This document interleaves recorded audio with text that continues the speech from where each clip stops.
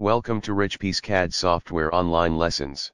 Today we will learn how to snap to grid. Click Options in the view. Click the object. Select the snap to grid. Click OK in the pop-up dialog. Then, automatically adsorb to the grid.